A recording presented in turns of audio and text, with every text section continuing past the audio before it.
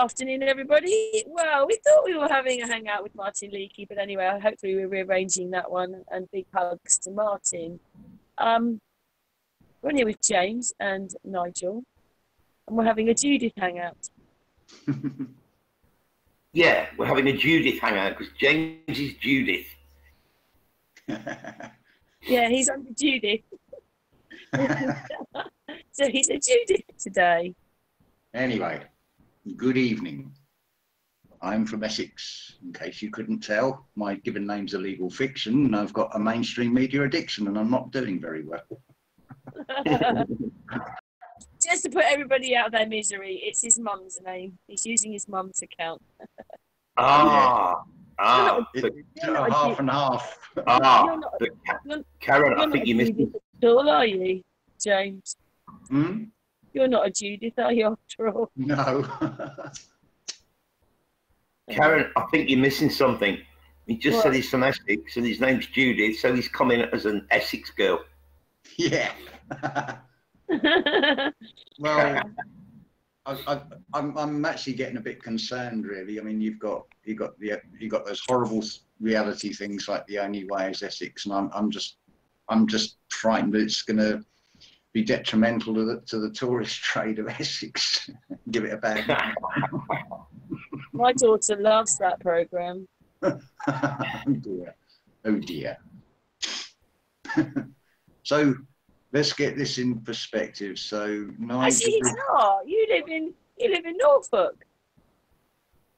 It's it's a joke. It's it's a it's. I was messing around with the lyrics from Bill Billericay Dickie by Ian Dury. All right. Okay. He's actually very good. Um, he did a song called "Oh Mr. Peanut," and think of a, a certain peanut farmer who became president. And the lines go, Oh, Mr. Peanut, I don't like you at all. Not only are you poisonous, but your eyes are much too small. So stick your finger up your nose and leave it there for keeps. I hate you, Mr. Peanut. You really make me weep. There's also, in, within the song, he says, For sure, Monsieur, and I hear mine hair, you're certainly you're cracked. He, that was like a, a dig at the European Union as well, France and Germany. Way ahead of his time. Hmm. Wow. But the jury's out now, I'm afraid. Jane says the jury's out. Jury's out. Yeah, Ian Jury. Ian Jury, jury. mm. Do you remember that? Um, oh God, I'm going back years now. I haven't, I haven't lived in the UK for more than 20 years, but do you remember that? Um, there was an advert, and it was it was for um, some kind of chicken or turkey stuffing, and it was like a chef with a like like a band-aid, like, like a plaster over his mouth, and he was he'd, he'd peel it back and he'd go Norfolk, and then put it back on. Do you remember that? Mm, no. okay. Well, remember, shame. Remember the Swedish chef. The only one I know is the Swedish chef. Bernie, Bernie, Bernie. That's the only one I know from the Muppets. Oh right, okay. I was going to well, throw a little I mean, the, the, the pioneer of um, cookery programs was the best, Fanny Cradock. I, I often think of Fanny. So. oh, God. Yeah. Uh, yeah. Well, did you, did you see what Martin posted up? I mean, it's written in stone. the headstone said in, to the memory of Harry Fiddler, and, and then also to his wife Fanny. So he was a Fanny Fiddler, Harry Fanny Fiddler. I I remember I remember years her, her husband was called Johnny, right? Johnny Cradock. And um, I remember when I was I was about eight or nine years old, and um, Fanny Cradock was doing this uh, cookery show, and she was she was making pancakes or, or, yeah. or something. I'm pretty sure they were pancakes. And at the end of the show, her husband Johnny said, "Well, viewers, thank you very much for watching, and I hope all your pancakes turn out like Fanny's." and I was rolling. And my mum hadn't got a clue what I was laughing at. So I hope all your pancakes turn out like Fanny's. And I'm like, oh my God. It's, it's going to depend on the, the oil, really. If, if you got it too hot, it's going to go a bit frilly around the edges. Boys! Sorry. uh, we're, a bit, we're a bit in the room shark today, I'm afraid. well, in uh, in the USA, fanny is your your buttocks, right? It's your bum, but in the in the in the UK, it has a uh, the opposite meaning. But yeah, I just I, I will never forget that. I, I was a kid. I don't even think I was ten years old, and I was absolutely rolling. And my mum was looking at me like I'm some crazy dude. What, what, what what's funny? What you laughing at? She just didn't get it. Well, uh, it, it, there's um, there's a sort of a change in language. A fanny pack in the states is a bum bag in the UK. Yeah, it's the same yeah. thing. Yeah, it's absolutely. Um, yeah. Anyway, um, need need to sort out um, get things in perspective here. So Nigel, you're behind the Great Firewall of China, and Karen, you're on the top of the hill, and uh, the sun sun rises in the east and sets in the final location But let's just hope it's not caliph fornication. This is true. this is absolutely true. Well, like I pointed out on the video, I mean, what price is stardom? Because you can have a nice, you can you can be on the boulevard and everybody is going to walk all over you. Yeah, yeah, that's true. That's basically what it's showing. I mean, I don't know if you've seen the latest one. I think UAP channel was right with his testing and things. It's I mean, it's a familiar story. It's going to be predetermined and it will be what's in the solution. So here we go again, the final solution. Mm. Yeah. but don't worry about it. It's all just theatre shows. I um I sent Karen an email today with a screenshot and a link. I sent her the screenshot just in case the um they decide to take the link down. Maybe she can put it up in the um in this uh, in this podcast and um, it was some. It was the one of the ex um, vice presidents or president from Pfizer, basically saying that the um, the virus is over and there's no need for a action Jackson, if you get my drift. The action Jackson. Um, and it's right there, and it, and it was published in India in some uh, some newspaper in India. Now, whether or not it's just been put out there to, um, you know, to confuse or whether it's been put out there just to um, because that's what the system well, does. Who knows? But order out of chaos. So you need to create chaos before you can have order. Well, I was listening to um, to Matt earlier from Quantum of Conscience. I do like Matt. yeah. He um, he basically said that the system, what what he calls the not milk, he calls it the not milk yeah. Clinton backwards. Um, and to actually quote, uh, I wrote it down, to actually quote Matt, he says, the system wants us to forget or abandon or never know who we are. And when he said that, it just punched me straight between the eyes. And I thought, dude, you are so spot on. He is. I was, I was yeah. listening to his most recent one um, yesterday, and um, yeah, he's he's he's pretty much got it. Oh, I think he's totally got it. You know, he says the biblical, the biblical Satan can can can kind of give you a pen, but he can't put his hand over your hand and actually force you or move the pen in order to sign your own signature. You've got to give consent. You've got to do it yourself. And uh, well, spot on. I know, I know, I know where I know where this thing um, some people call it Satan, some call it Lucifer, some call it the devil. I know hmm. exactly where it is. Yeah, me too. Um, it's it's very easy. Everybody's got one. Um, the first act of war is defense. So if someone says to you, I don't like your video, blah, blah, blah, um, and then something will come, come up in you to defend it. Now, if they've got your goat, there it is. Yep. It's all about getting your goat. So if if you if if if you if you've not got it under control, then somebody else, you've allowed somebody else to take control of it. mm. That's all it is. It's um. It's uh, it's very cleverly worked out. Um, it's all about making impressions. So, I mean, you, you don't stand a chance with any of this because it's already started before you're here. Um, I mean, all you got to do is cast your mind back. Did you did you learn the the twelve times table in five minutes, or was it from repetition? Well, everything from repetition. Yeah. Yeah, everything's from so- repetition. Same as learning to drive. When you first start driving, you, you, you're conscious of, I've got to check the parking brakes on, adjust my seat, put the seat belt on, um, get, check my mirrors and everything. And then after a while, it just becomes second nature. Um, so basically, this is what meditation is. It's reprogramming because some of these these are system programmed things. So the body is controlled because the body is thinking, I want a chocolate bar or I want another coffee. And and when when the conscious mind is in control of it, you can say to the body, No, you bloody sit down until I tell you we're going to move. Um, a lot of the, a lot of things are done from from programming. And this is why, well, a lie, if it's told enough, told often enough, it's impressed on headstones, it's engraved. That's why it's carved into the stone. It's all to make impressions on us because what happens is the body starts doing biological changes. Now, this is the scary bit because um, it's like, ooh, they're- they are making me sick just from hearing what they're saying because they're making me feel fear.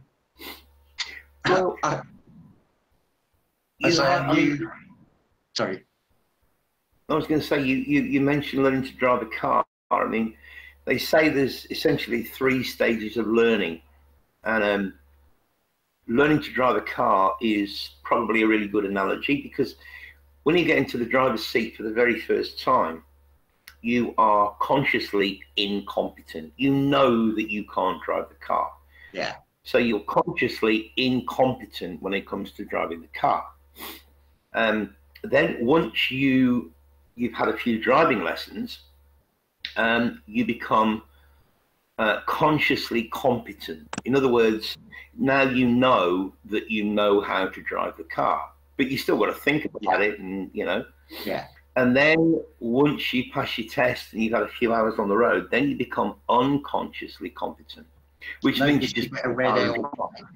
Yeah, you just get in the car and drive. I mean, I um, I used to work in Stoke on Trent. I used to live in Derby. I used to work in Stoke on Trent. It was like an hour's drive to work and an hour's drive home. And the amount of times that I'd pull up at a set of traffic lights and think, oh God, I don't remember going around that roundabout, or I don't remember going past that T junction or whatever, because it just becomes second nature. Yeah. So you become unconsciously competent. And um, essentially, they're, they're the three stages of, um, or what are known as the three stages of learning. And but we fall in the same way. Um, you know, we look at what's going on now. I mean, I, I saw some stupid woman earlier um, on um, on a YouTube video who's she was wearing a mask and she was standing on like something like Speaker's Corner. I'm not sure where it was, but something similar. And she was going, "Oh, trust the scientist and trust this, and you've got to." You know, and I'm like, you are just off the charts insane. You've done no research. You have not got any idea what you're talking about and she was just essentially spruiking the um, the mainstream narrative to anybody that would listen to her.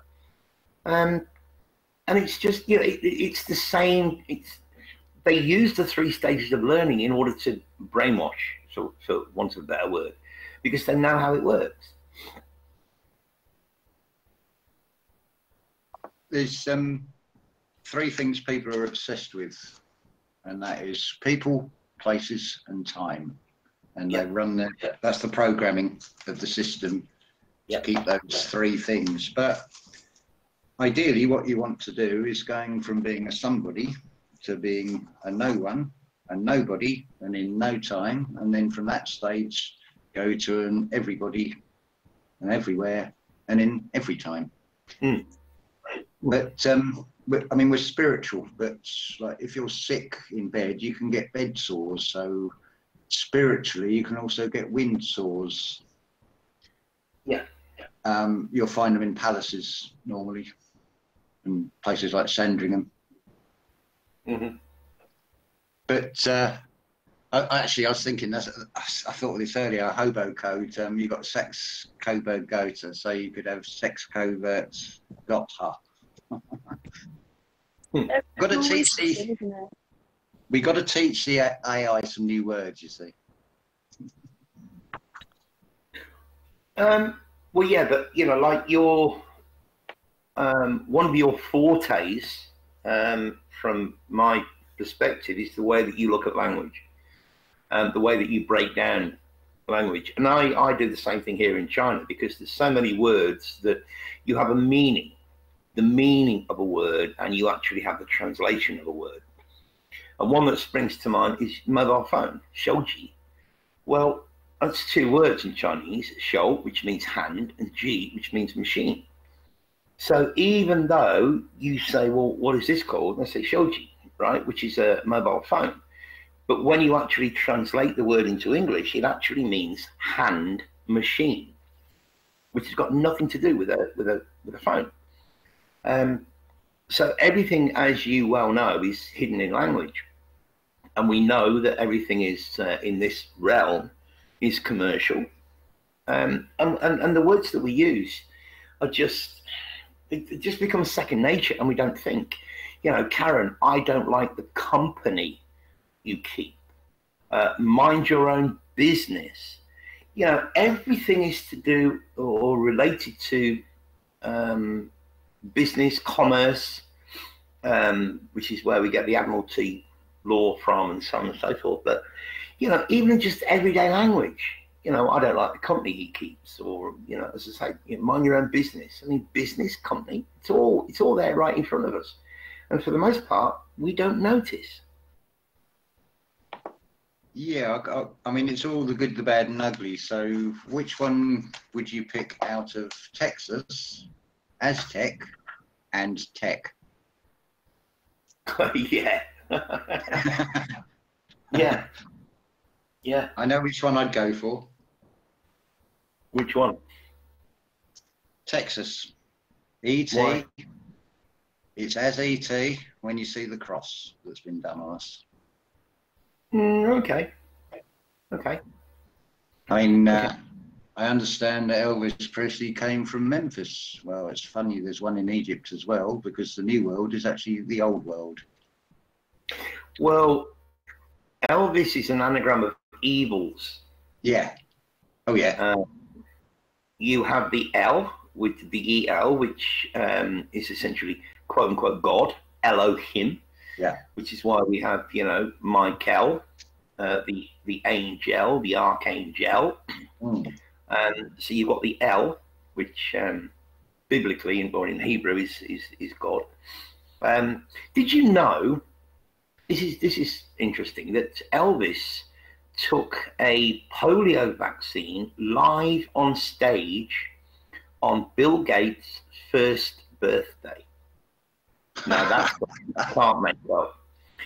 That's something you can't make up. And apparently at the time, there was something like, oh, I forget what it was, but it was less than 1% of parents were um, actually allowing their kids to go and have the polio vaccine. But after Elvis did it on stage, it went up to like 80% of parents, or women essentially, were um, were getting their uh, their kids to have the uh, the polio vax. But it's just interesting that um, it actually took place in 1958, I think it was, and it was actually on Bill Gates' first birthday. So, if people out there think that you know this stuff hasn't been planned for decades, then they really need to um, you know have a look at themselves because this is just a script.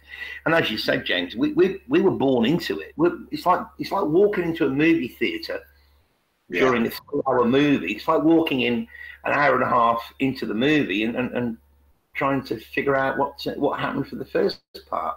Um, well, I've been in the dressing room quite a lot of the time, and I read through the script, and I don't like it. well, that uh, thing. You say, you're saying Elvis. I, I, was, I was thinking, uh huh. Um, but then I then what came into my mind as you're talking about him, that song called in a trap. It's like yeah. the price of stardom again. But you, it's interesting you say about the vaccine. When did he start to put the weight on? I don't think that was real, but I can't remember. It was probably a year or so before he quote unquote died in '77. Yeah, but died. But the other um, the other interesting connection is that um, he he was known as the king. Yeah. Um, and Um, he did a show from the uh, the Space Needle in Seattle, which is happens to be in King County, um, and that's where um, Mr. Gates lives. Was born and raised. Is in Seattle, where there's the Space Needle. Nothing to see here, guys. Please move along. You know, I, I don't- I don't really like Bill Gates. You think with all those billions, he could get something better than all those jumpers from, I don't know, it must be Primark or for the, I suppose it would be something like Walmart's in the States, the equivalent. Um, well, yeah. I mean, And, uh, they're rubbish is, wear something decent. Well, his his husband's his husband's even worse. The stuff that she uh, she ate, that creature wears. Yeah, crazy. Straight out of the charity shop, for the looks of it, Yeah, dragged up in drag. but it, it, it's it's just amazing how um, you know all these things you, you, you can join all these dots together, and it just it, it- it's amazing you can actually see the scripts. You know, you can see that everything is scripted. Everything has been scripted for decades and decades and decades. It's absolutely amazing once you can see through the veil. It's crazy. I wonder actually, you say about Elvis the King. Well, above a king is an ace, especially if you're playing trumps. Make you wonder. Well, yeah, it? that's true. I think true. Karen, you showed the morphing face of the two between um, Elvis and Yeah, quite regularly I see them when I'm looking at the footage. When I don't look at the footage, I don't see it. But yeah, I did one yesterday. And he's supposed to go to church. He didn't go to church. He wasn't there. There's a pretty good video on YouTube, Karen, that you might like. I haven't looked at it, but I, I, I somebody showed it me on the. I was watching a, a- video and this guy highlighted it, and it's called um, Elvis glitches out. Apparently, it's on YouTube. Um, yeah, I think you'd like that. His eyes go weird. His eyes roll back in his head. His hand goes goes really really strange. Um, The Kinda right. so strange. well, I just thought when I watched it, I thought, wow, that's right up Karen Street. I must um, Oh, I must tell you about it, and I forgot. But uh, yeah, Elvis glitching. Yeah, weird. Thanks for that, Nigel. No, you're welcome. I'm, I'm just sorry I forgot. I, I, I meant to find the link and send it to you, but I uh, I think I went to work and came back and forgot. Um, but yeah, there's just there's just so many connections. Once you start seeing some of these connections and you start joining them all together, then you just realise that we're actually wasting so much time going down these rabbit holes and looking for this and trying to find that. Because at the end of the day, it's just all one big script. But what I was going to say before um, we came on air was look at the Buffalo um, uh, World's Fair from 1901 when President McKinley was assassinated. Um, but if you look at the images of this um, beautiful, absolutely stunning, and apparently it was built on a marsh. How on earth this thing was built on a marsh? It's just stunning. The Tartarian architecture is absolutely beautiful. And President McKinley was shot in a in, uh, called the Temple of Music, and this temple, this domed temple, is absolutely off the charts. And if you look at the organ inside, Karen and I were talking about this on our last podcast. I was showing a uh, PPT with some of these beautiful, huge organs in some of these quote unquote cathedrals and churches. But this one in the Temple of, uh, of Music apparently is the biggest organ that was ever, ever built. Um, which again, you know, in, in my opinion, just gives rise to the fact that these cathedrals and churches were, were healing centers. It's all based on frequency. There's a huge statue there, looks like Caesar. I'm not sure who it is, looks like Caesar, and it's gold. Some people have speculated that it's uh, gold plated. Other people have said it's actually solid gold. And it's just, it's amazing, it's stunning. But the, the crazy thing about this particular World's Fair is that it's full of rituals. they tried to electrocute an elephant. And they brought these um, native Indians in as some kind of sideshow. And then they brought a load of dogs and 750 dogs. And the native Indians had to kill these dogs and eat them. And it's all, it's, the whole thing was built on a, um, uh, a, a, ritual. It's absolutely horrible. But um, the point I'm trying to get at is that when you look at some of these um, so-called World's Fairs, these expositions, and when they actually took place, it's like a bridge between what you might call our civilization and the previous civilization. These expos, where they highlighted and showcased all the technology from the previous civilization, and then of course they destroyed all these, uh, like the Crystal Palace in London was was one, and that was a huge building um, and they all they all kind of caught fire around the same time. I mean, it was such a shame. All these buildings all around the world, they all caught fire because Crystal Palace was made of glass, and uh, glass catches fire so easily, doesn't it? Yeah. Um, but it's yeah, it's, it's almost like a bridge between our civilization and the uh, what we know as the Tartarian civilization. But the the Buffalo Expo is a little bit different to all the others because this one is just full of ritual sacrifice, even the assassination of President McKinley that most people have never even heard of. This when you talk yeah. about when you talk about U.S. presidential assassination, apparently McKinley was number three. He was the third yeah. president. The 20, 25th one as well. I can't remember his That's name. That's right. He, he, was, he was number 25, yeah. Ah. Um, of course, happened in. Sorry, go on because I think Matt on Quantum of Conscience mentioned the other the, the two names because because yeah he said there's four as well, but of course it's strange you never hear about the other two. Well, he he pick up on he pick up on that because that's his family name. Um, but um, yeah, so that actually means that JFK, if he really was assassinated, was actually the fifth president to be um, assassinated, not the second. Hmm. Um, but this uh, this this buffalo is I think that's a rabbit hole that I'm going to have to go down a, a, little bit further and maybe I'll I'll throw some stuff to Karen and maybe we can do a podcast on it once I've got um, my PPT and that's finished. But as I say, the architecture, the Tartarian architecture, which is no longer there, is just insane. It's absolutely beautiful, beautiful. And of course, you know this actually happened in 1901, which just has two ones and a nine in it, but nothing to see there. Um, so yeah, I was actually quite um, quite impressed with what this guy said on. It was on uh, Crow Triple Seven today. Um, I listened to it and then I started diving into what this guy was talking about, and it just blew me away.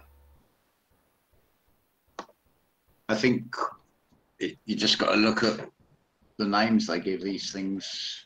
I mean, World's Fair I mean, but who's paying the fare? And I think what you're looking at is the spoils of a trophy hunter, saying, "Look, look what I've kept. Look what I've taken. Look what I've stolen."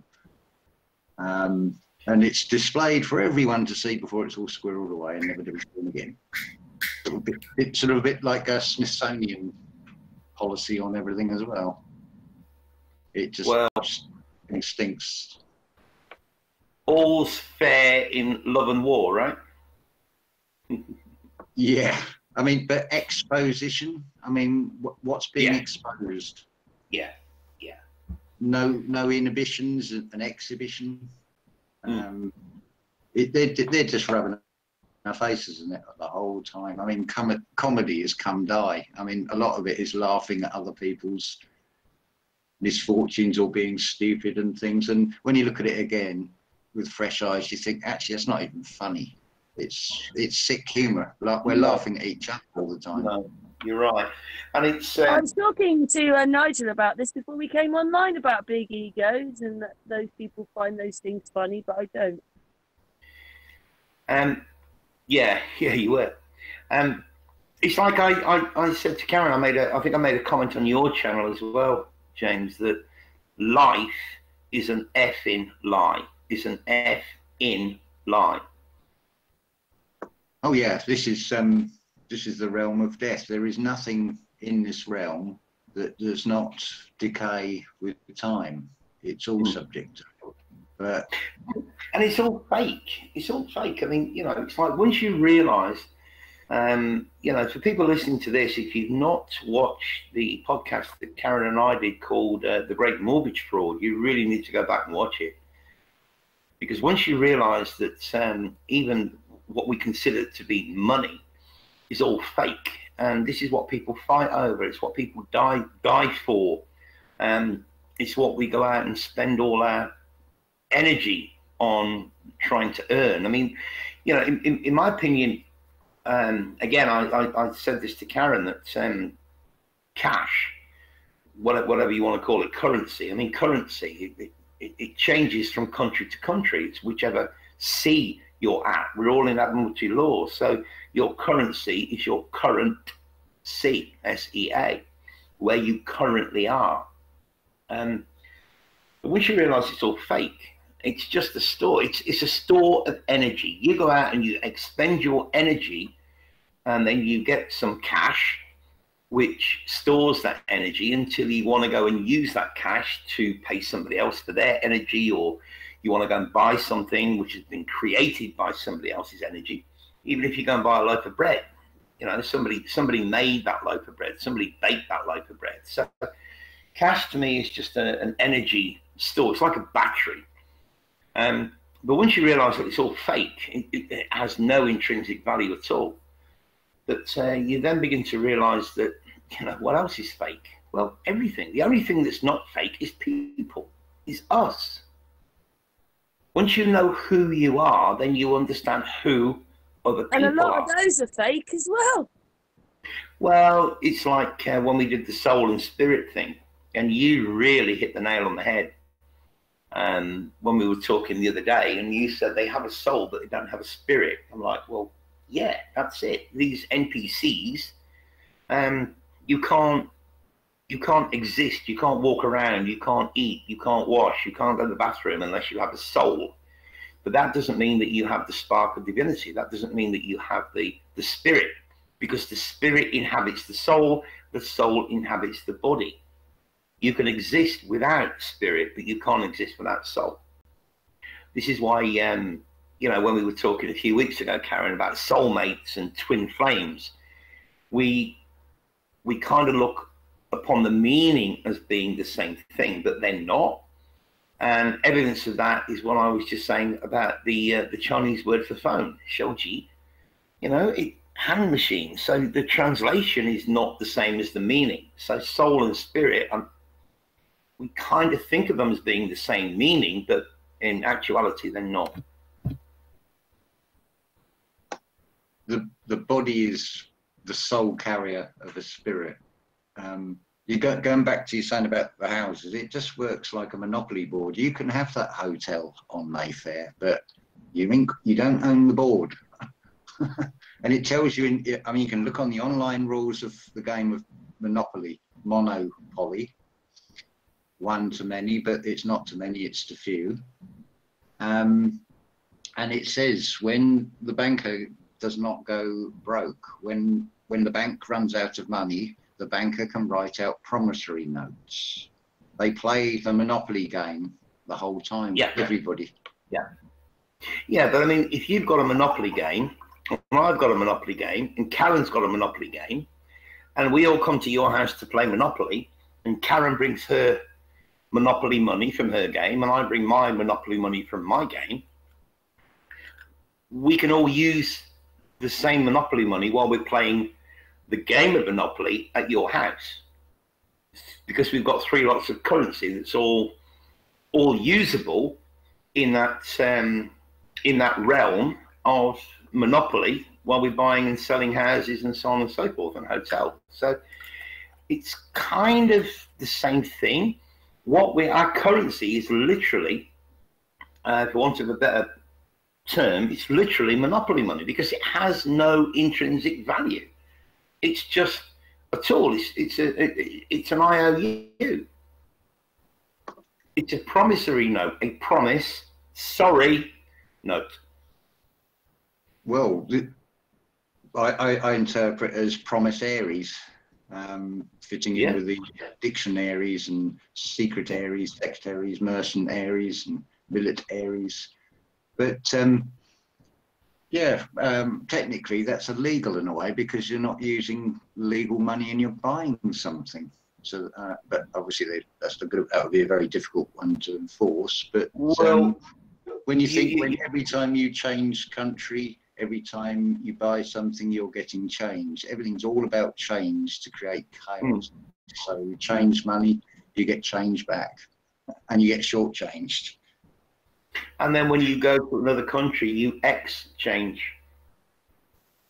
Yep, pass the port, passport, and exchange. Definitely. Yeah. You see, it's like um, I live in China, so I earn Chinese yuan, and I can spend that anywhere inside the monopoly board, which would be the um, the Chinese border, so inside the country. But if I go to Australia or the UK or America, then I that money or that currency is useless. I have to exchange it for British pounds or Aussie dollars or American dollars or, or or whatever, whatever country that I'm uh, what I'm in, my current C.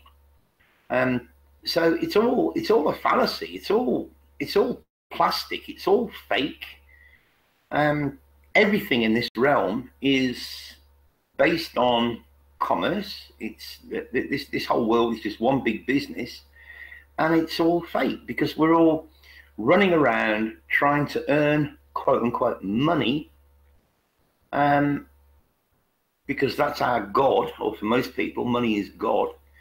Um, in order to give ourselves a better existence, you know, so we can have the bigger house and the nicer car, and you know, so on and so forth. Um, but in reality, it's it's it's all fake. It's it, nothing is tangible. Nothing is actually real. The only thing that's real are people, and and as Karen just pointed out, even some of them are not because they don't have the spark. They have the soul. The soul animates the body. The spirit uh, is connected to the soul. So that's what makes you who you are. If you have a spirit, that's what makes you who you are. That that makes you the nice guy or the the person that doesn't want to hurt hurt anyone or harm anyone and so on and so forth without the spirit, you don't have the um, what I call the spark of divinity, which Karen kind of blew me away a couple of weeks ago when she said, "Look at your palm. Look at the palms of your hands. Can you see an M?" I went, "Yeah, I can see an M." And she said, "Well, that's that represents your spark of divinity, and not everybody has the M on the palm of their hand." And it uh, floored me, totally floored me. I did some research on it. I looked it all, all up on the internet, and yeah, it's all there. It's crazy. But again, as I pointed out to Karen, an M looks like a three on its side. So if you got an M on the palm of both your hands or both palms, as I have, you just got to turn your palms uh, a little bit skew, and you can actually see a 33. Is that relevant to the Masonic 33? Possibly. Have they inverted the meaning? Yes. Um, but you know, it's all it's all there. It's all right in front of your face.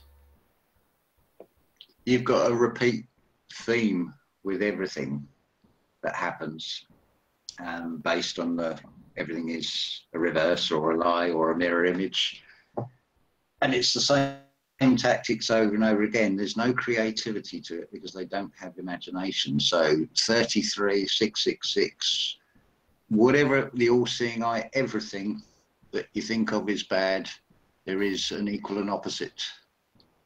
Um, as even Einstein is sort of dropping a hint with that an equal and an opposite. So, I mean, it, most people, if you say to them about shape shifting, they're going to straight away think reptilians, think evil, and they're not going to think, well, hang on, there might be a, a good, like angels or something, a good version. I mean, you get two types of angels. Everything, everything is a duality in this realm. It's it's seeing the mirror as well as the reflection. Hmm. Uh, and Well, I, it, it, it's all it's all it's all about system programming. So most people they wake up in the morning and then they're I need to have a shower. I need to have a coffee. I've got to get to work. I've got to make breakfast. Blah blah blah, and it's just repeat programming. Hmm. So they're not. It's keeping everybody busy. So I mean, meditating is is what it's all about. And med, all meditating is um, it's it's like saying ascension, kundalini. It's it's the same thing, different words for the same thing. But all meditation is is reprogramming from the mind and get getting rid of these system programs in the Yeah. body because it creates chemical changes which are adverse to our health because they adverse with adverts to entrance us in shops to buy things and then we get change Hmm. or it's all on credit now everywhere seems to Yeah. be in Do you know what rubbish it and- is? It's all one big setup, isn't it? Oh, Yeah. yeah yeah but the future is not set Yeah. you cannot be serious I um I go back to what I said that um, Matt was saying earlier about it, what the system wants us to forget, abandon, or never know who we actually are, which means, in my opinion, that if if, if the system is going to put that much effort into trying to stop us from knowing who we are, or forgetting who we are, or abandoning who we are, then to me that that kind of gives it away a little bit and makes me think that we're possibly a lot more powerful than the system will actually allow us to um, to think or to believe. But um, going back to the 666, I mean, in Asia, just generally in Asia, 666 is considered lucky. You know, a few months ago, I got a text message on my way to work, and it was just a promo. It was just like a, a, a promotion. You get them all the time. It's a nuisance. They pop up on the internet. You get these ads that pop up on the internet all the time as well. And it was um, essentially, if you want to take up this offer, just text 666 back as your reply. And I got a friend in Cambodia.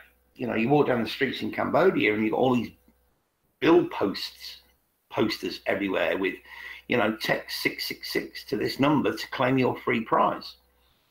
So, as I said in an earlier podcast with Karen, everything over here is the polar opposite everything is the polar opposite to um, Yeah. to what it is in the West, and um, most of it is ninety percent of it or ninety five percent of it is nothing like we're actually taught it is in the West.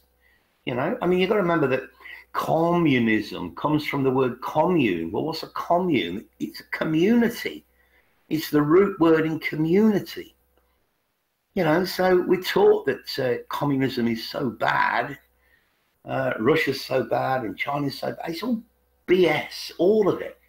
Absolute nonsense. I mean, you know, in another It's couple of weeks. propaganda. It's propaganda. Yeah, of course it is. It's propaganda. Yeah.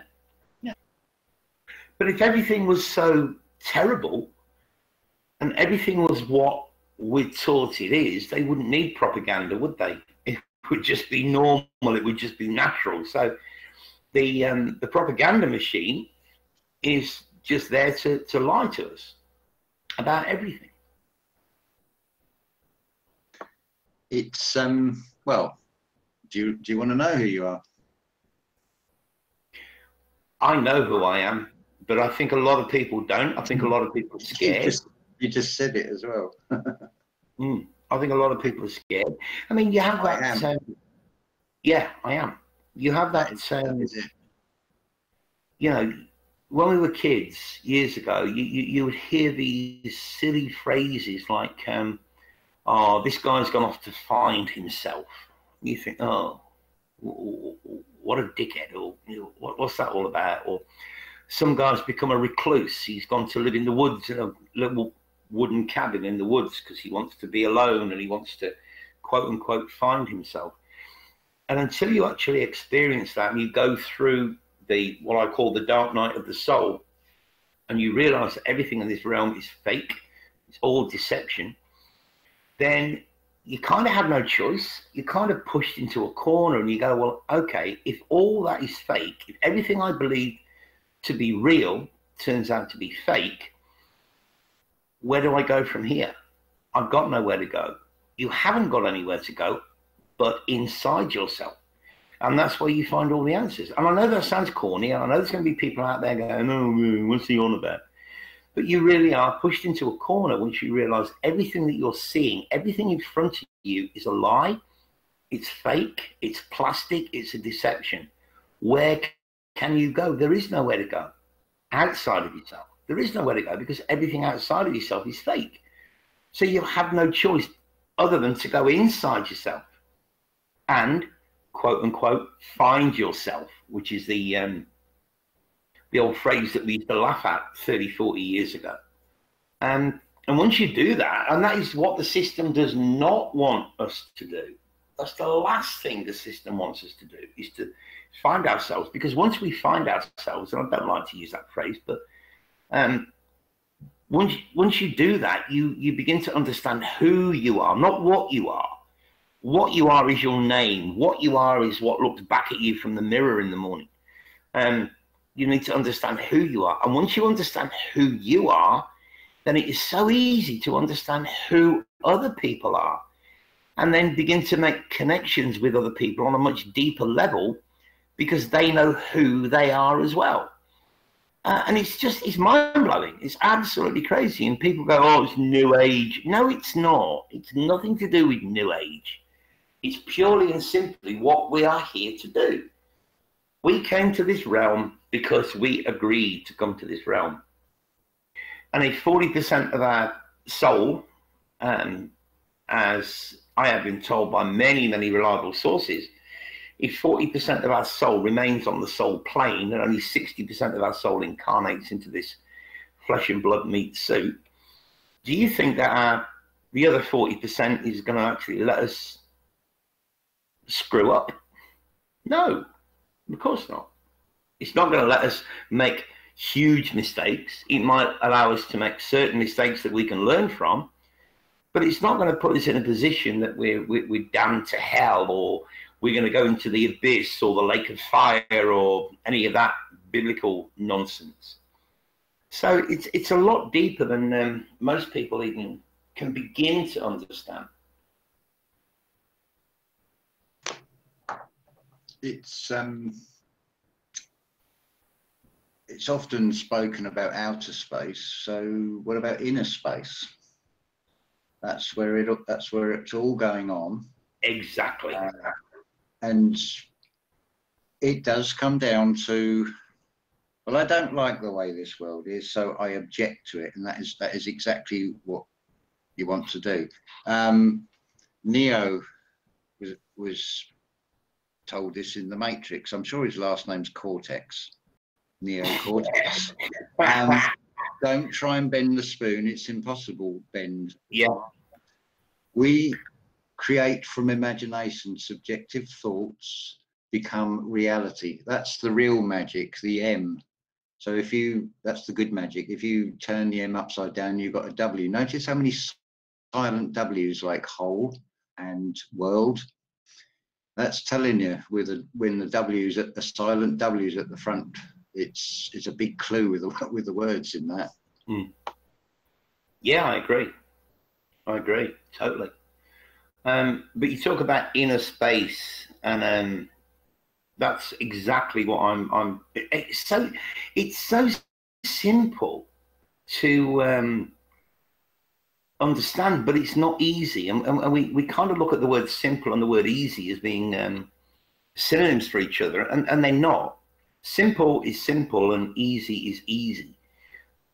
But it's so simple to understand, but at the same time, it's not easy to understand because it's not easy to explain. Um, and then, of course, you have this um, situation which is also projected on us. It's also part of the um, the programming that um, once you decide that that's what you want to do, you want to go inside and you want to find yourself and you want to understand who you are. Well, now you're being selfish now you don't care about other people. Well, actually, it's, it's it's easier to care about other people once you understand who you are, because then you understand who they are. And I've got to the point in my life now, and I've said this to Karen many, many times, that, you know, I only care about people who care about me. Now, that's on the face of it, that sounds selfish.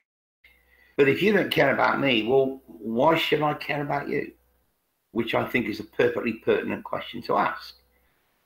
And yet, when I say it the other way around, when I say I, I only care about people who care about me, oh, that's selfish. Okay. But if you don't care about me, why should I care about you? Uh, yeah, you got a point. So you, you, you have two sides to the same coin with two completely different um, interpretations, to want of a better word. But as I say, it's so difficult to explain, but so easy and so simple to understand once you understand it. A lot of it is uh, um, the ego mind will come up to defend its position with a lot of this. Um, but it, it, the way to look at it is right.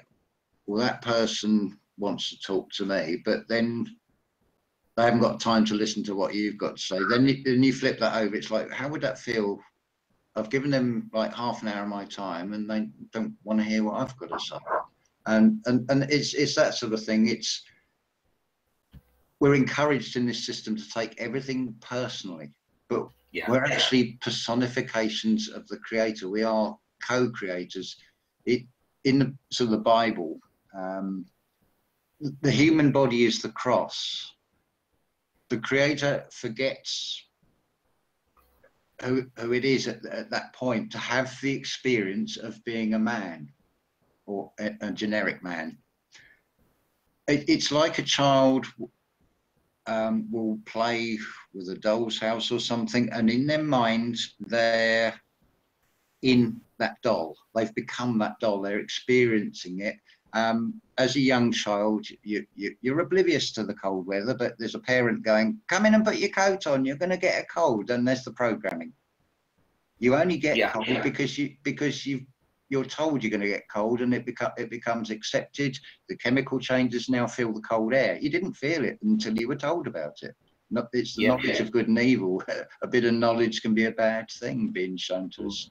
But it, it is until you, it, it works like a magnet. How can you go out there and help anybody unless you've, you've sorted out the internal conflicts?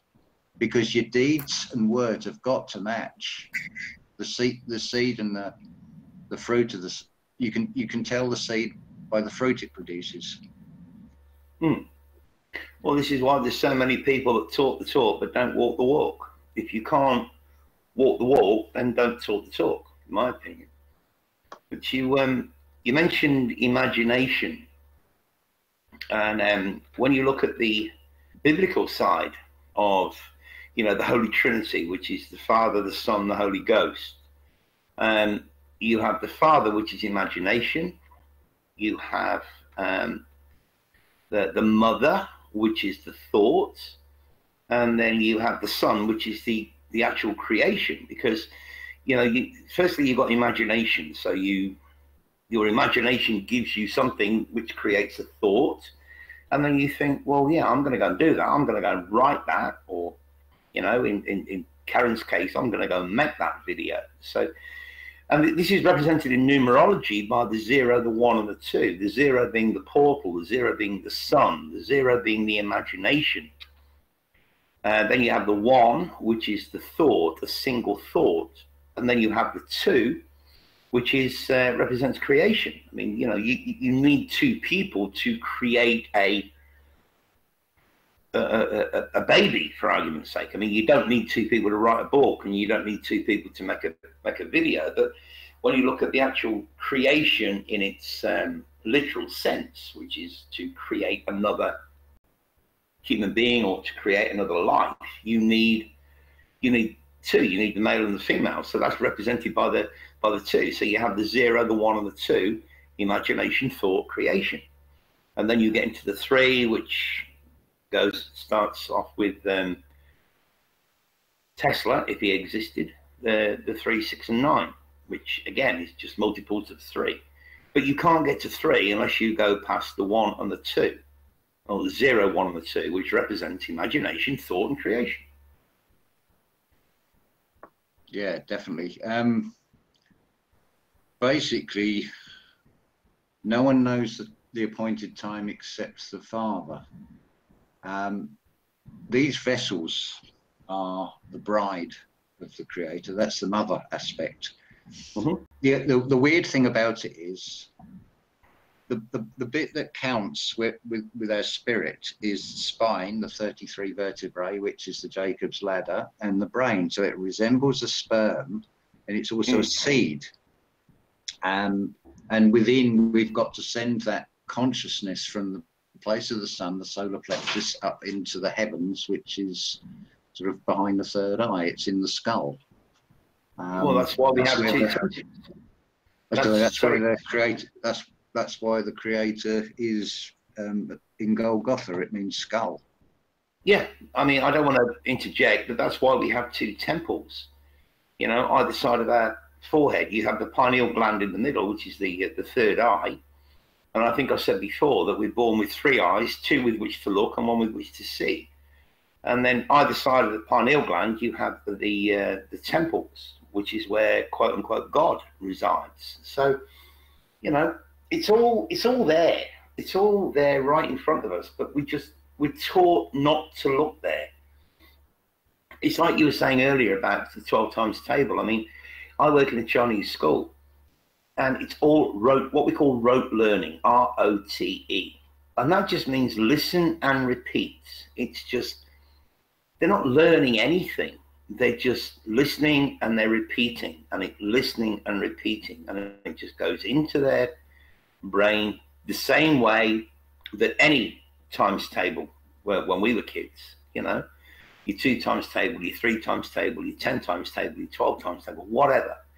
They were just taught to us. And we can even go back there now and we go, oh, what, 12 8, uh, 1 12 is 12, 2 12, 24, 36, 48, right? And, and we can we can just spew out the answer because we m- literally memorized it. Yeah. Um, interesting. It goes up to twelve as well. Mm.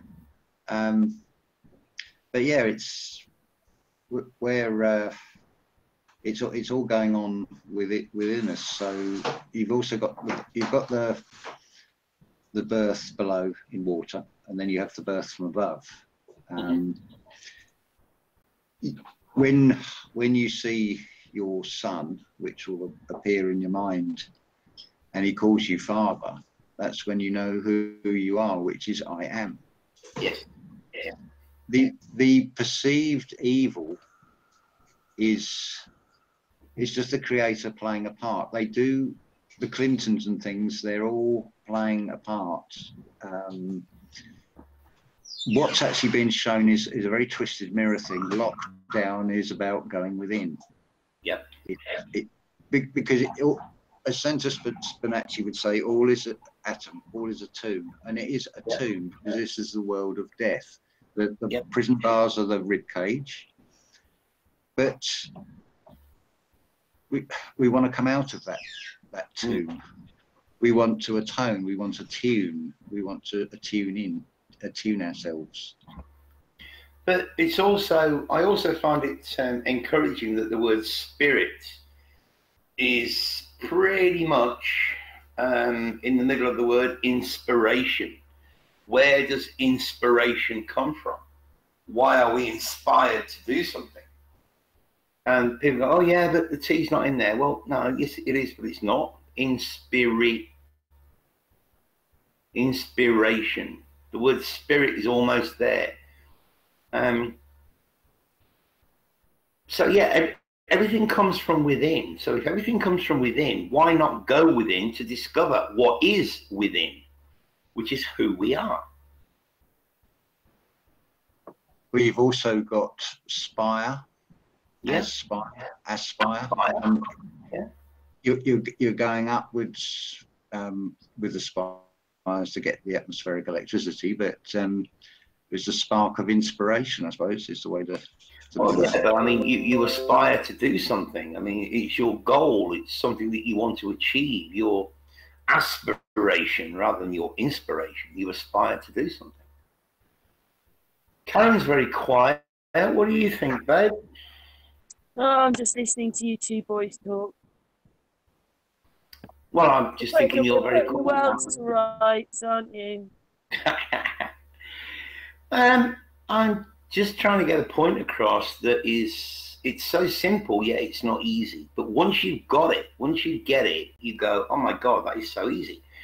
There is a, a quote I forget who said it, but he said, "Life is not easy. Uh, life is not difficult, but we make it difficult." I totally agree. I think we do. I think we make it too difficult sometimes. Yeah, most people do most of the time. So, what are your thoughts, babe? What do you think? Now you've listened to what me and James Well- have been drilling on about. I think one of the biggest things I always say is that you get to know who you are as a person. Without knowing who you are, you're never going to know anything else. It's knowing yourself better, more and more comes to you then, and then you've got more and more to give out. If you don't know who you are, you never give anything out. Everything's for you. When you when you care more about other people, then it's because you know who you are. Yeah, that's exactly what I was saying earlier. That you, you, once you know who you are, then it's so much easier to get to know who other people are and look beyond that facade and look beyond that, um, that, you know, in, in from a male's point of view, from you know the, the lipstick and the eyeshadow, because that's not what that's not who a person is. That's what that person is. Um, and it's so difficult for people to understand that. Um, in order to know who uh, another person is, you must first learn to understand who you are. That's why, you know, again, it's wrapped. I'm not religious whatsoever, but that's why it's wrapped up in the um, in the Bible about um, you know love others as you love yourself. And then, of course, people well, that's selfish. What do you mean love yourself? Well, once you understand who you are, once you begin to love yourself, then it's so much easier to love other people. You know, this has got nothing to do with sex, it's got nothing to do with gender, it's just who that other person is. And once you understand who you are, it's so much easier to understand who other people are, and then you can make a decision whether or not you want to love that person or have nothing to do with that person. It's all connected. We are all connected well, those who have who have the spark of divinity are connected. The NPCs, the uh, the Adam and Eve, 100% Adam and Eve um, descendants, they don't have the spark. They're not, uh, I suppose, spiritually evolved enough in this experience, and they've got many more to go through. What I was going to say was, you're saying about the word easy. I mean, it, uh, it is a practical sort of demonstration of it. If you're sort of sitting there, go, go into silence, into a dark room, and uh, just sit there and count back from 100 down to one. Mhm. See how far you get before the mind starts wandering and thoughts come in. That's God, where you observe. I mean, it does sound easy, but it, it, it's all about practice, practice, practice. I mean, again, the dark side tell, tells you that you go to a doctor, it's a general practitioner. Yeah, Um, but if you want to play a concert grand and you want to play all the complete works of Mozart or something, well, you've just got to practice. And it's this is doing this is what the doing the internal work is. It's not looking at the external because to put it into context, all being atom, that's 99.999% is no thing. So we're uh, actually focusing on the 0.0001%. I wonder where that term is also used, the, the 1% of the 1%, as it were. But so the, the, the things that we're focusing on are so minuscule in the bigger picture because we've got the eyes of the deceiver. There is no Satan or devil or whatever. It, it's our it's our twin caduceus. One's telling you to do one thing, one's trying to get you to do something else. You've it's creating harmony between the divine feminine, which is the ever-loving wife, which will give you whatever the conscious mind is feeling. So if you're feeling fear, it's going to say, "Oh, fear. You want more fear." It doesn't know good or bad. It will just give you what you feel. So we we create the world around us by our thoughts, quite literally. Um, I deliberately made a video the other day, and somebody said to me, "It, it sounds like you're going to kill your mother." I said, "I said you've, you've not listened to it." I said, "It's thought creates reality. If I want to be sort of free. Well, yeah, I could murder her and then go in prison, end up in solitary confinement. I've got exactly what I wanted, but not exactly the way I wanted it. And I, and, and I didn't make that decision. Well, I did make, I made a bad decision, but I've got that, I've got the isolation from my choice this way. So I can do this meditation every day and keep practicing it and practicing it until it becomes imprinted into the body, into the cells, in, so that I create the right chemical changes. I, I transmute memories because it's wisdom is is knowledge and experience i've had the experience of the excitement of something i've really wanted as a child that that that feeling just as you're going to open that box to uh, that that christmas present you really wanted and if you can transmute that feeling and hold that feeling inside and then you'll create these chemical changes and you'll feel better about everything that, that that's the best thing it's it, it's practically doing it. It's setting us setting aside some time for yourself and saying, right, I'm going into the silence and I'm going to watch my thoughts and see what comes up and what's triggering me, digging down and thinking, ah, because it's a it's a slippery snake. You've got to be wise as a serpent, as Christ says in in, in the Bible. Um, mm-hmm. you, you move like a wave you, you look both sides, you, you, you're aware all the time, aware of your own thoughts, aware of what you're saying, and are my actions matching what I've just said? Have I said it in the right way? All, all these things, it all comes into it. It sounds easy, but it's not easy. I, I don't get it right. It's, yeah, as, as wise as a serpent and gentle as a dove. And it's interesting that you um, you mentioned meditation. Now, you know, when you mention the word meditation, for a lot of people, it conjures up this, you know, sitting with your back straight, with your legs crossed, and you know, your your hands on your on your knees. And I I do a lot of meditating, and I don't do it that way at all. I'm not saying I'm right. I've never actually tried it that way. And I don't think I'd feel comfortable. Um, but I think in order to um, to begin meditating, all you need to do is just go and lock yourself in a quiet room. You know, just go to your bedroom, turn everything off, and just lay on the bed and close your eyes and just relax in total silence. Um, and things start to happen. Things start to eventuate. Um, you get these um, these calming, you get these thoughts, you get these. You end up going to places that you've never been been to before. When I say places, I mean you know metaphorically. Um, so I don't believe that you actually have to sit there in that classical meditative position in order to um, do what you actually need to do, which is, for want of a better word, is the uh, the inner work. I mean, and we've all done it. You know, the, the three of us here, we've all done it. You've done it. Karen's done it. I've done it.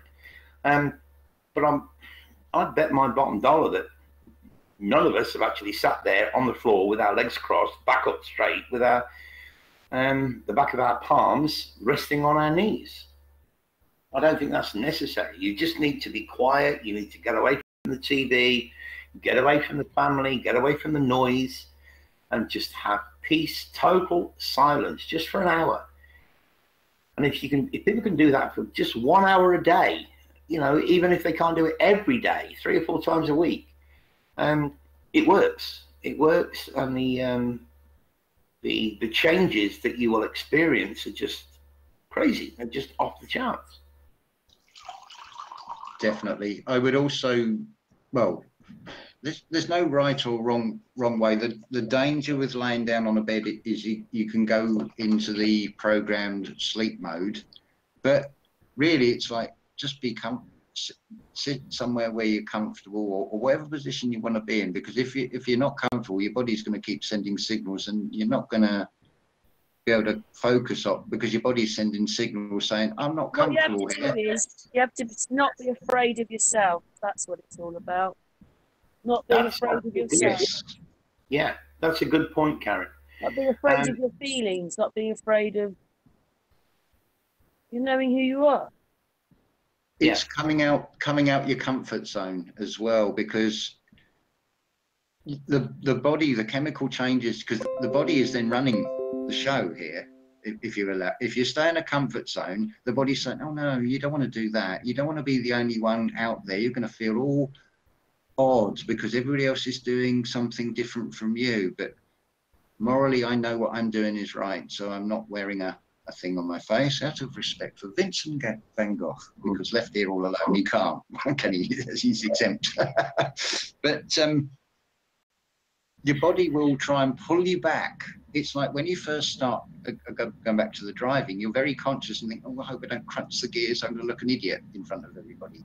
Especially if you've got friends watching you and when on your when you first started driving, you feel all nervous and you, I don't want to make a mess of this. I want to get it right. And then you probably do make a mistake from over worrying about it because that feeling is now manifested again.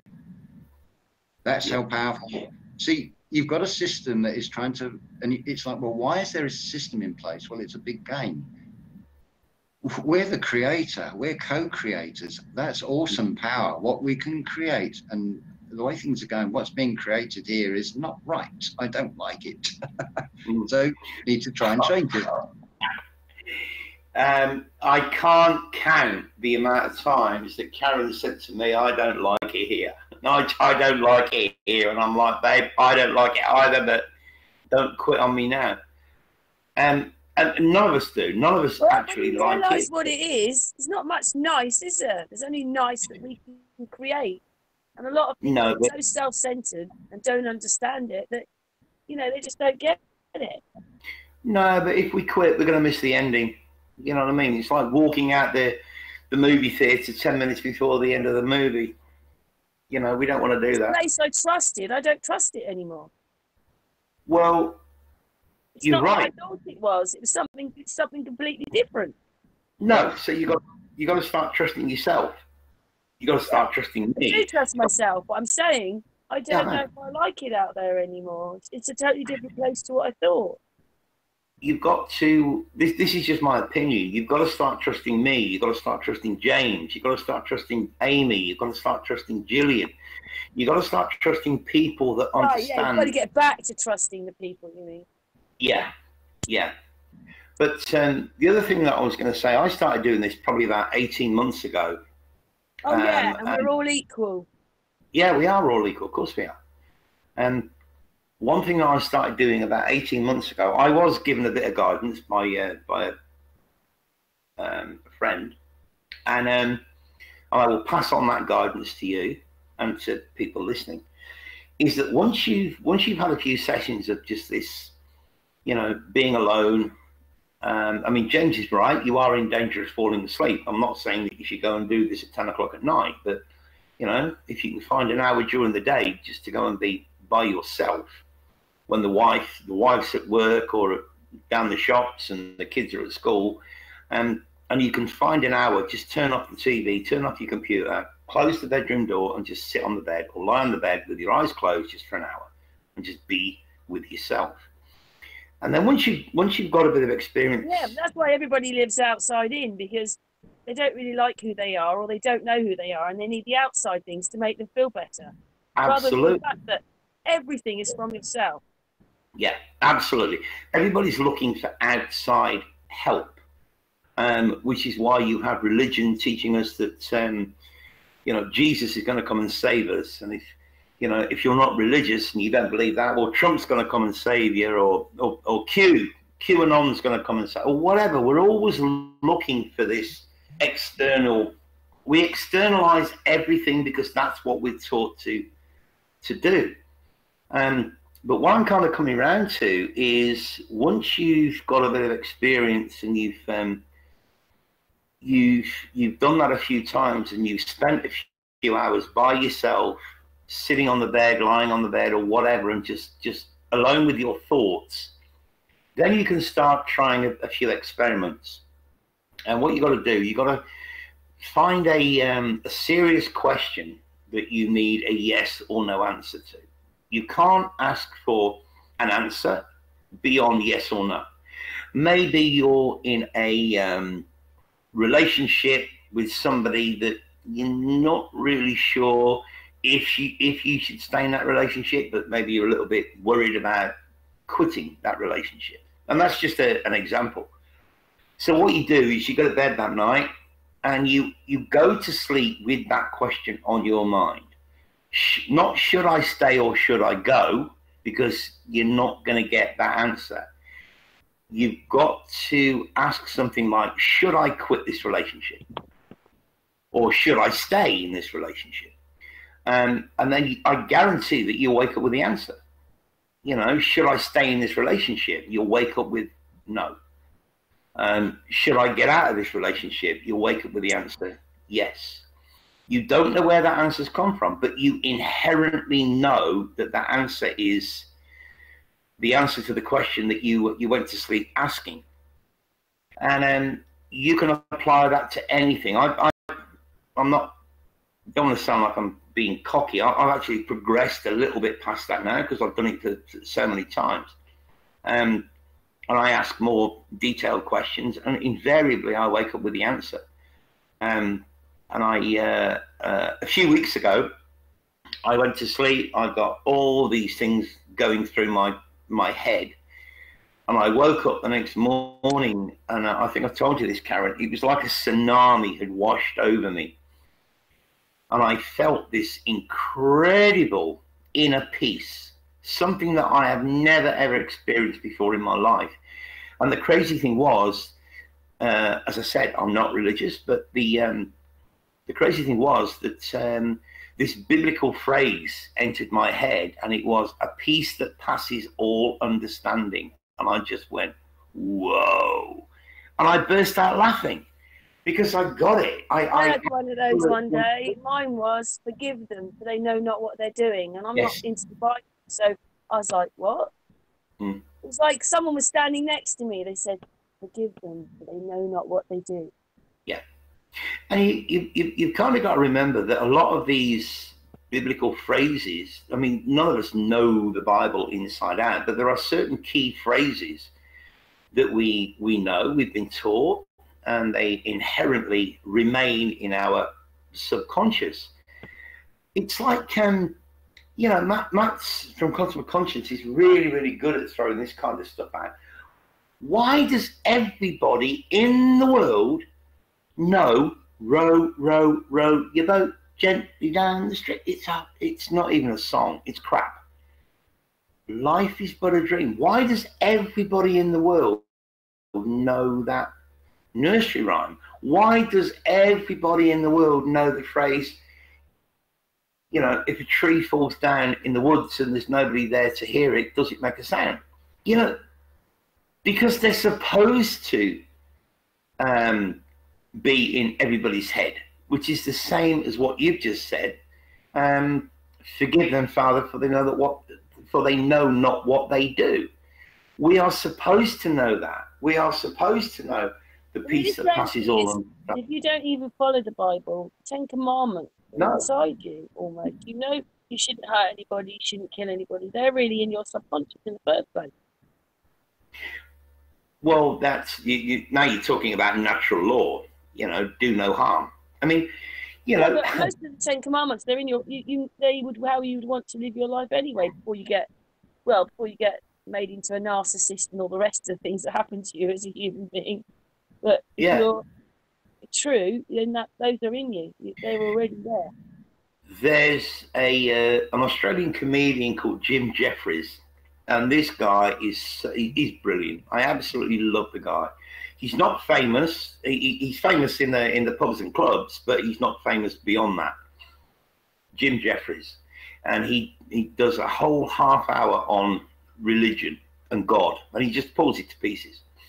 And then being an, an Aussie, and I, I, don't want to offend anybody here, but the, the C word in Australia does not have the same connotations as it does in America or England or, you know, uh, anywhere else in the Western world.